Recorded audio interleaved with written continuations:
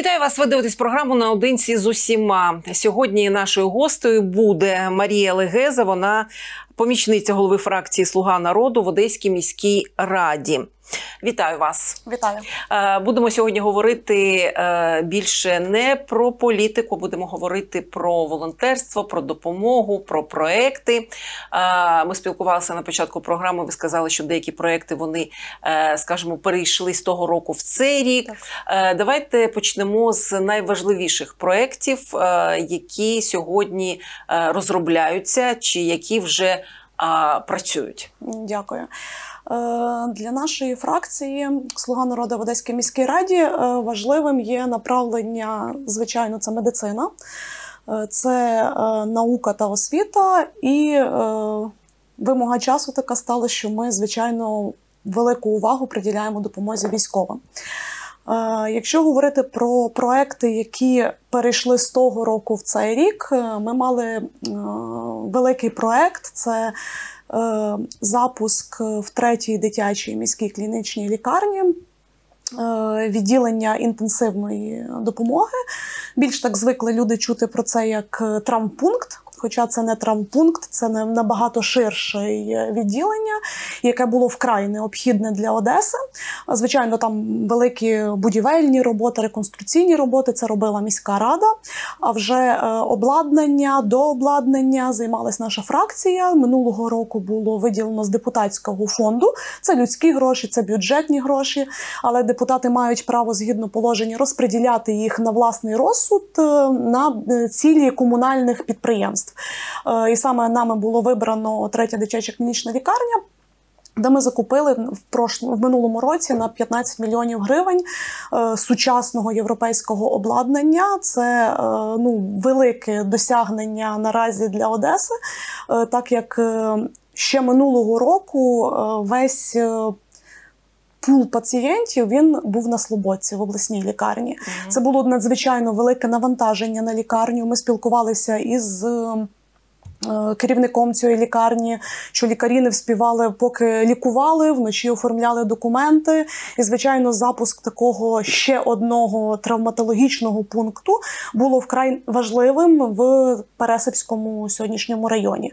Е, Ми це здійснили. Е, Це було заобладнано сучасним рентгенівським обладнанням, е, обладнання для е, ендоскопічних операцій для дітей, е, щоб вони були не такими болісними, щоб була реабілітація для діток набагато легша. Звичайно, дуже важливу роль в комунікації відігравала керівниця цієї лікарні Олена Артьомова. Вона вела колосальну роботу. На самому ділі я б сказала, що це напевно один із кращих менеджерів у сфері медицини е, наразі в Одесі. Е, я думаю, потім покажуть картинки, яка Так. це як, який це вау, це сучасна, сучасна лікарня.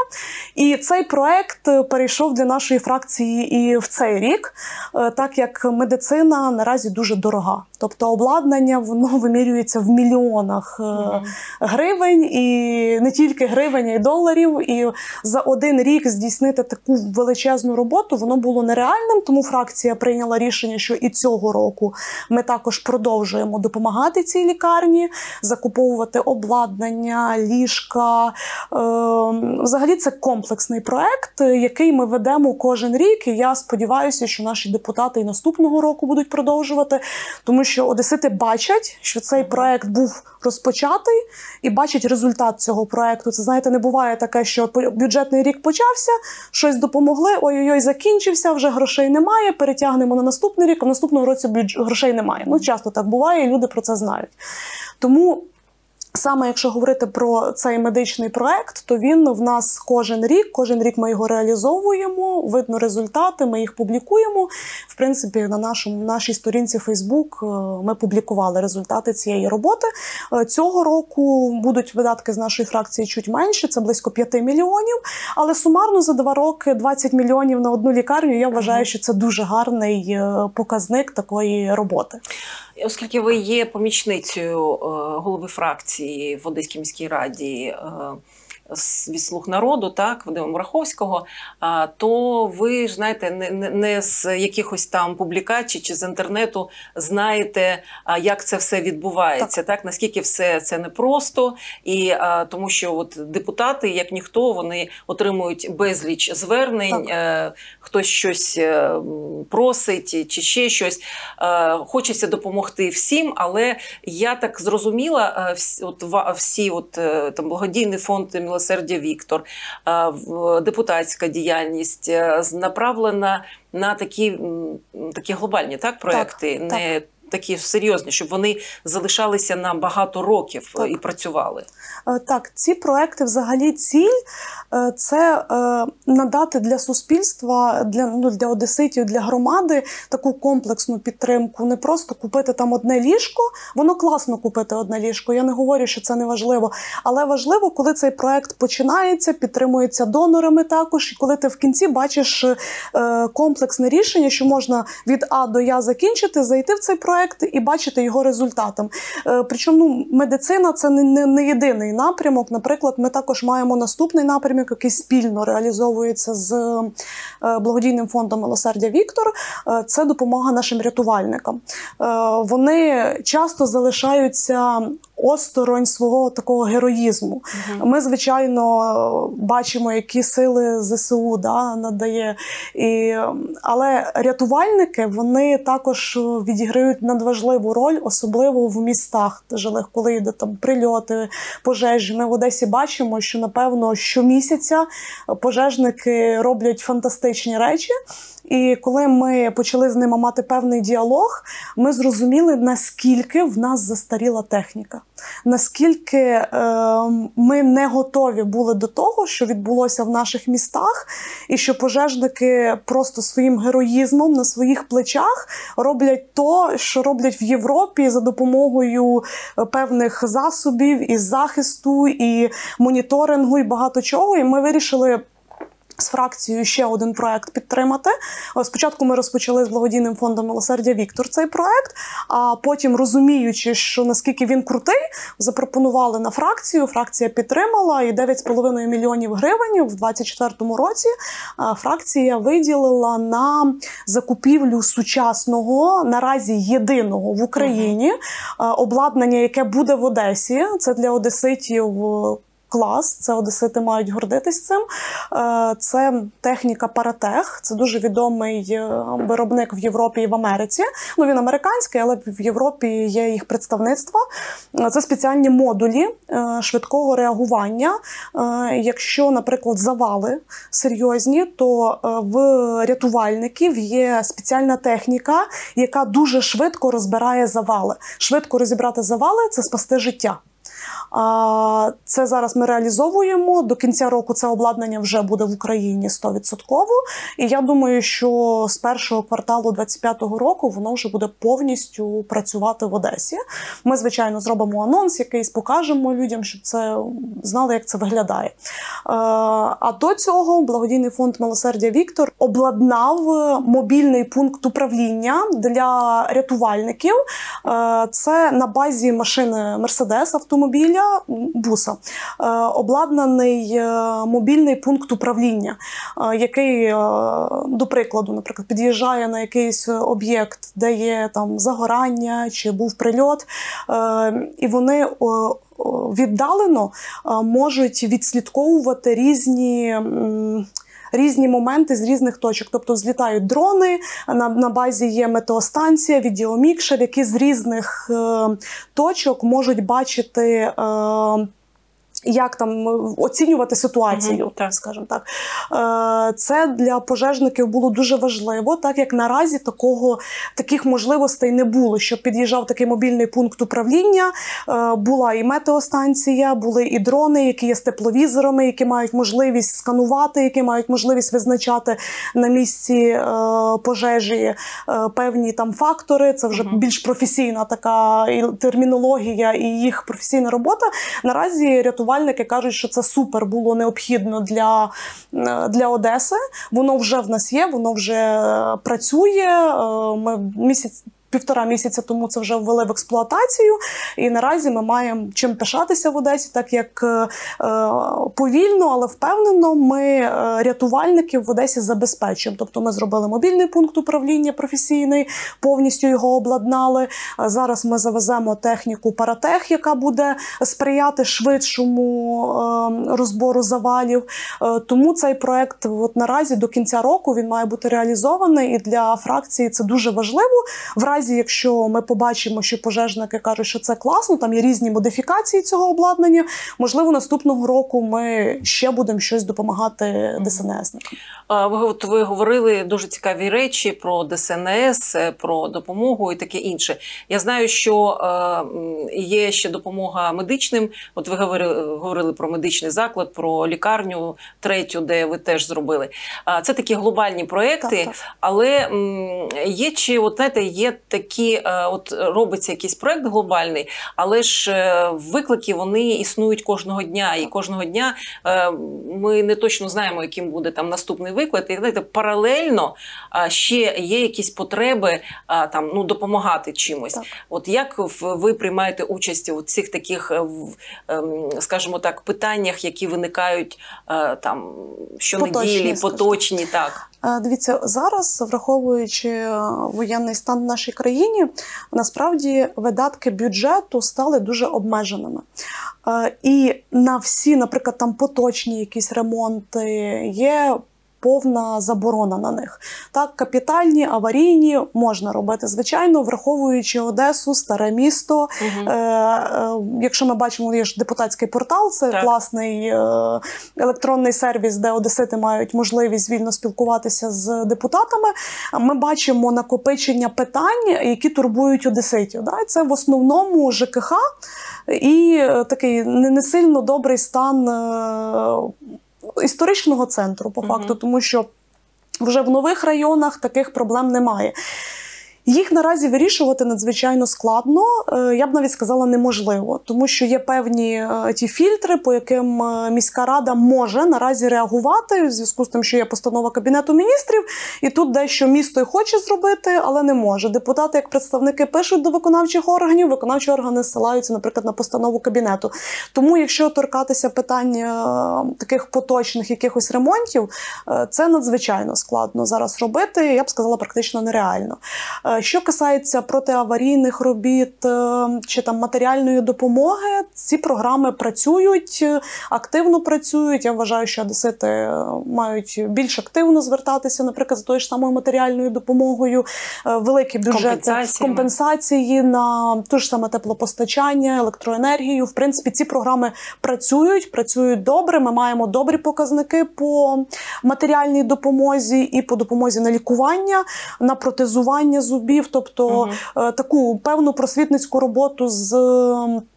Населенням потрібно вести, щоб населення знало свої права. Ми їм будемо допомагати в цьому. Тобто, через електронний портал ми відпрацьовуємо по матеріальній допомозі. Зараз добре відпрацьовуються звернення. Е, Марія, от е, ви перелік робили е, Так. програм, які працюють. Не можу не запитати. Сьогодні вже є люди, які е, говорять так через засоби масової інформації. Е, ця ситуація, яка склалася з енергетикою, з вимкненням світла. Е, деякі навіть порівнюють, що ситуація трохи серйозніша ніж була е, минулої зими, скажімо, позаминулої.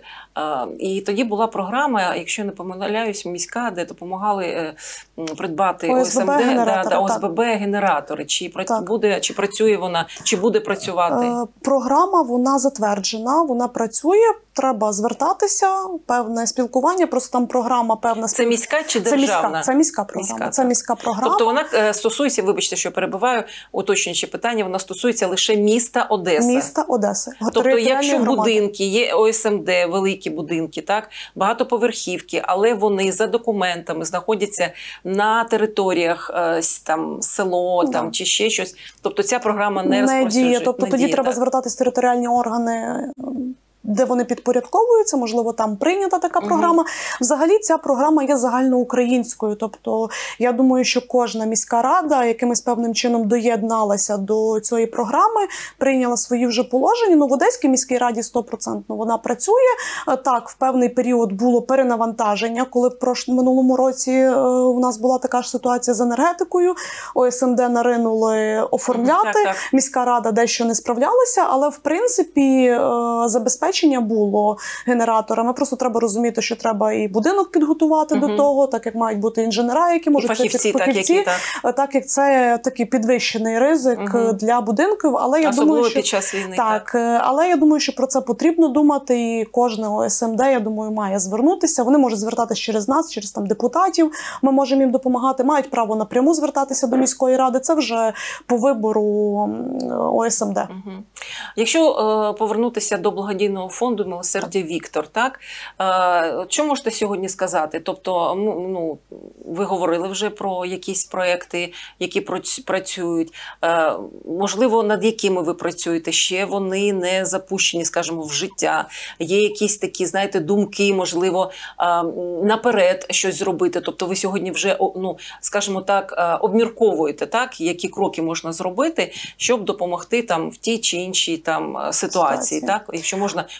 про це Так. розкажіть. Е, Дивіться, в нас на порядку денному в пріоритеті це звичайно наразі допомога військовим. У нас є укладені меморандуми з 126-ю бригадою, з 35-ю морпіхів е, і військовий госпіталь. Це наш пріоритет, в якому ми працюємо системно, щомісячно.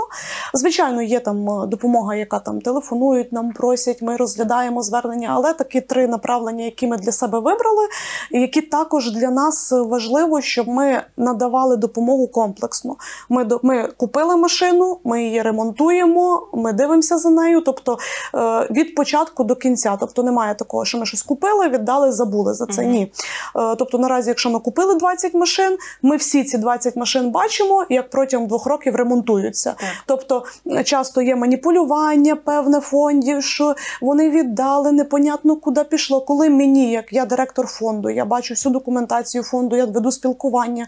Я розумію, що якщо є е, чітка координація з військовими е, і е, спілкування, то ти бачиш всю допомогу, яку ти надав, куди вона пішла і як вона працює. Тобто, це якщо ми говоримо про наші сталі проекти, які діють, які я впевнена, що засновники нашого фонду будуть підтримувати до кінця. Е, В наших планах, звичайно, от ми закінчили план проект ДСНС. Ми в нього вклали 3 мільйона Мгм. гривень.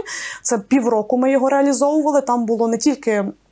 Цей мобільний пункт там ще був навчальний. е, е, е, Ми зробили пункт, де відбувається навчання працівників, і це все нам коштувало 3 мільйони гривень. Наразі ми маємо певні думки щодо реабілітаційних певних проєктів. Звичайно, це також пов'язано з третьою дитячою клінічною лікарнею, так як на її базі вже є започатковано реабілітаційний центр.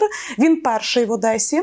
Е, Насправді ми вже рік говоримо про те, що. Так склалося, що Одеса це е, південне місто, яке приймає багато біженців з південних регіонів, Херсон, Миколаїв, переселенців. Є діти травмовані не тільки фізично, психологічно. І що не маючи такого центру, е, ну ми маємо задуматись, якщо ми говоримо про якісь такі речі містобудівні, да, то ми маємо задуматись над тим, що в нас мусить бути такий центр. Зараз на базі третьої дитячої клінічної лікарні відкритий такий центр. Він працює. Ми зі своєї свого боку наразі думаємо, можливо, також якийсь денний стаціонар відкрити. Хотіла запитати так. Так, питати, да. е, денний стаціонар для дітей це дуже складно з законодавчої точки зору, тому що дуже багато відповідальності, враховуючи, що повітряні тривоги, ми мусимо е, відпов... ми, ми відповідаємо юридично за цих дітей, яких ми приймаємо. Це і харчування, це дуже складний процес, який вимагає великої концентрації. Амбіції і великої відповідальності. Ну, це такий проект, який ми обдумовуємо, який ми думаємо, як би це могло бути реалізовано. Але я думаю, що в принципі немає нічого неможливого. Ну, такий великий проект, я думаю, що ми запустимо і реалізуємо його. Ви говорите про відповідальність, так що це ну надто важливо. Важлива допомога, важлива відповідальність. І ви сказали, що ви, якщо там придбали ці машини, ви слідкуєте, ремонтуєте. Там це така, знаєте, такий дуже добрий контроль. І знаєте, це от не зробив і кинув, так і більше не е, мене не стосується. Це все, е, я так розумію, вже налагоджена схема, так яка дуже добре дуже добре працює. Скажіть сьогодні, от в вашій роботі, в вашій діяльності, ем, я так розумію, що є труднощі, з якими ви стикаєтесь. Воно не буває все так, знаєте, е, дуже гладко. Е, насамперед, які ну, з вашого, от ви як людина, яка кожного дня з цим стикається, реально працює, які є, скажімо, проблеми? Можливо, от ви, ви там законодавчі щодо стосовно відповідальності за дітей, тобто ви відкриваєте денний стаціонар, тобто повинно бути там воно якесь сховище чи Звичайно. щось таке, так це додаткові, так скажімо, кошти. А з якими ще от проблемами стикаєтеся, які сьогодні, скажімо, можна було б вирішити, але от чогось вони не вирішуються. Е, дивіться, я оце була у вас на попередньому ефірі. Ми обговорювали одну проблему, і я задала, що вона вже реалізована державою. Ми минулого разу обговорювали, коли волонтери виїжджають, і їх на кордоні починають так, там так, так, роз'яснювати. Наразі прискіпливо. прискіпливо розглядати, чоловіків не випускати. Багато хто угу. не повертається. Наразі держава, я казала, що до наступного разу мусить держава це врегулювати. Врегулювала. Наразі ми маємо електронний реєстр надавачів гуманітарної допомоги принципі, якщо ми, як фонд, формуємо декларацію, вписуємо туди там водія чи ще когось, угу. на кордоні в нас не було ні разу ні одного ні одної проблеми щодо перепустки наших волонтерів, які переганяють машини. Вчора ми завезли дрони самі вже. Тобто цей реєстр нам допоміг працювати без посередників. Це дуже круто. Е, це державі великий респект. Е, тому оця проблема від нас пішла. Е, я б наразі сказала проблеми, якщо говорити так глобально, тому що такі мілкі проблеми, як документи, акти. Це ну, дуже це, таке, це дуже кропітка робота, яка є просто офісною, робочою, яку не завжди люди розуміють, не завжди хочуть тобі там щось підписувати. Е, Приходять якісь нові люди, які ще не навчилися. Так. Не навчилися це такі офісні типові проблеми, які я не вважаю, що вони потрібно обговорювати. Якщо говорити про е, глобальні проблеми, то напевно глобальною проблемою наразі є певне е, зниження довіри до фондів. Так. Е, це дуже це для мене дуже е, там боляче, тому що ми все публікуємо, розказуємо максимально відкрито. Там на зв'язку. Мій телефон, наприклад, на всіх сайтах, яких можливий він є. і Мені напряму можуть дзвонити, там спілкуватися. Вибачте, е, я просто уточнюючи питання. Недовіри до фондів. Вона ну якось завжди була, чи це цього року, чи за якийсь період ви звернули увагу? Ну я думаю, що недовіра до фондів е, з'явилася в певний період, коли це спочатку була повна довіра до угу. фондів, до волонтерів. Люди це такий емоційний підйом. Так, так. Потім, коли почались в засобах масової інформації певні журналістські розслідування про певні крадіжки волонтерської допомоги, і це все впливало на соціум так, що не всіх там фондів всіх так. фондів. Тобто є проблема у нас в українців, що ми не хочемо розбиратися з кожним окремо. Ми хочемо всіх урівняти однаково всі ви там однакові. Uh -huh. Плюс-мінус от таке гасло в нас є. Е, тому е, от з чим стала проблема. А ця проблема потягнула за собою. Тобто, ми спочатку робимо, а потім думаємо я за українців.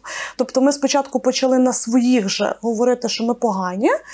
А потім це наші ж за кордоном є. Да? І так. це воно крутилося, крутилося, що європейці, американці т.д. і т.п. перестали нам допомагати. Вони кажуть, що у вас там відбувається? Ми передаємо, а ви там десь то втрачаєте чи ще щось. І оця спочатку внутрішня недовіра, яка була, вона розповсюдилась на недовіру за межами нас. І ми такі, ой, а так негарно не, не вийшло.